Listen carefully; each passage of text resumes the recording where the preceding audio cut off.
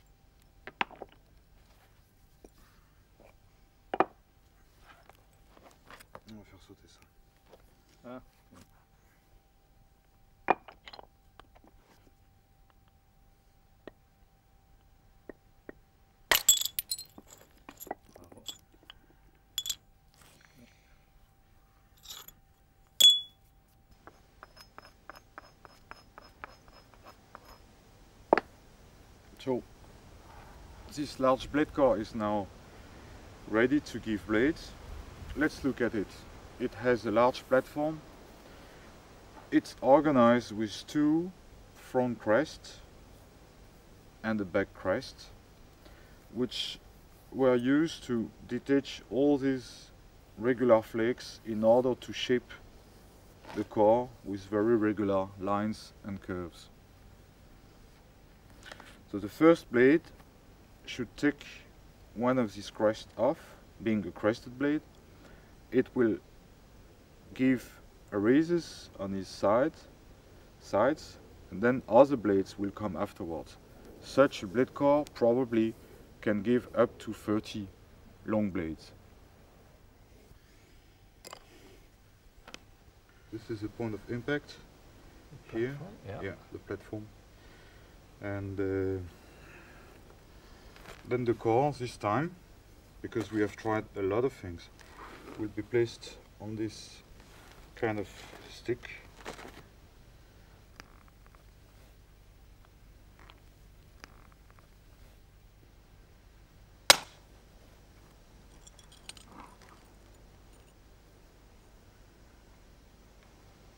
So this is the first crested blade.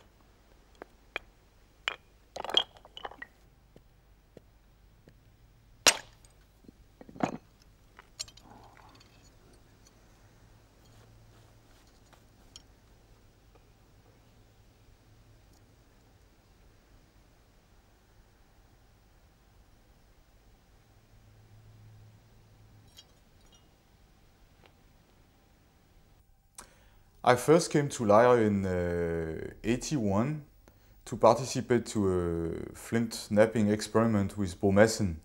It was the AXE project uh, dealing with the production and grinding of the large uh, Scandinavian square section axes. In uh, 86 we started a, another project about the production of uh, blades.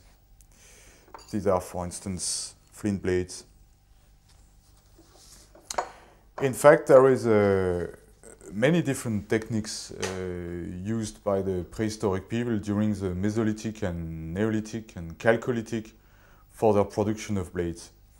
Uh, and we must have a better knowledge about these techniques in order to uh, better know their tradition and also see when do uh, specialists uh, eventually appear this project was uh, made by uh, made out of uh, systematic experiments with a change of one technical parameter at a time, being the tool or the holding position of the core uh, or the preparation of the core. So the documentation consists in uh, uh, taking notes and describing these different series uh, using a datasheet system for each of one, using also photographic documentation of a sample for each series and also uh, using macro photos which are the best to show the very specific technical stigmates at the proximal part of the blade. The main result of this project, which is now under preparation for a publication, is that uh, there is first good evidence of specialists in uh, large blade production uh, starting during the middle or late Neolithic in Europe. We know uh, 10 to 12 uh, large blade production centers which exported or exchanged their production over quite a large distance. And then the second result is that among these 10 or 12 large blade production centers, we can distinguish uh, four different technical traditions. Voilà.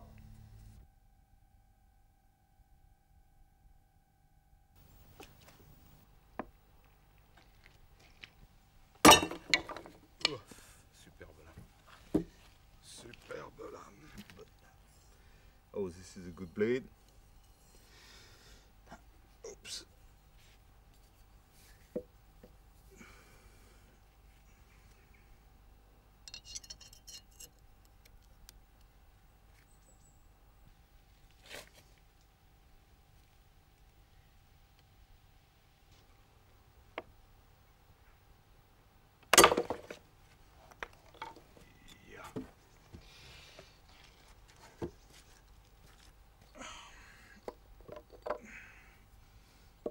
it's a good blade again.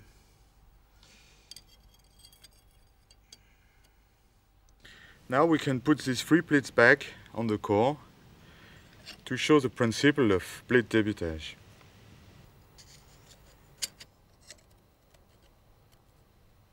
We started from a core with a crest. Uh, that crest, this crest appeared uh, while detaching this transversal flakes in order to shape the core, in order to give it a slight convex regular line. So the first blade is removing that crest, it's a crested blade. But while detaching, it lets appear two long arises, and one of them is used to detach the second blade. By doing so, the second blade is making uh, appear arises also here and there, so that a third blade is possible. And now the debitage will go on detaching this aris. And then detaching this blade we will have one aris appearing here and then we have another blade there. And then again on the sides and back to the middle and so on. So that a blade core of that size can in fact produce uh, up to 30 blades.